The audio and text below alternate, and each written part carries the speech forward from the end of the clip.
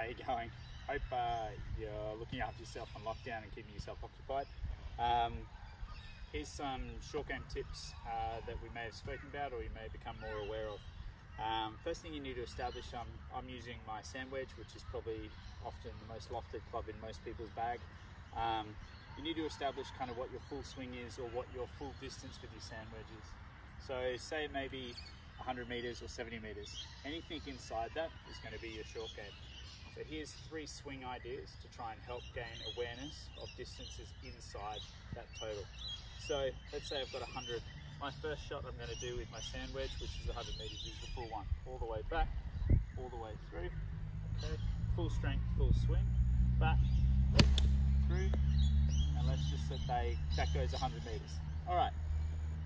The next swing I need to establish is the distance just there below. Okay, so what we're going to call this one is three o'clock to full swing. Okay, so imagine a clockwork. I'm a lefty, but you're a righty, but we're just going to say three o'clock is here. Okay, and then full swing. Okay, so as it looks, three, full. Okay, because you're reducing the length of your arc, the length of your swing, your total distance potential comes back. Okay, it's the same club.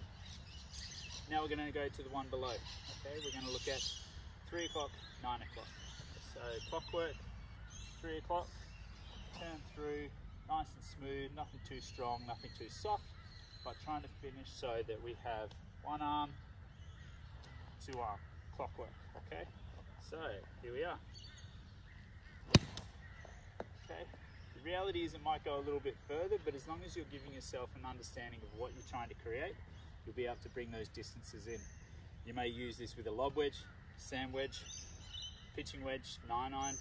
The theory is exactly the same. All you're alterating is uh, the swing distance to give you total distance potential, that short game distance. All right. Uh, let me know if you have any questions.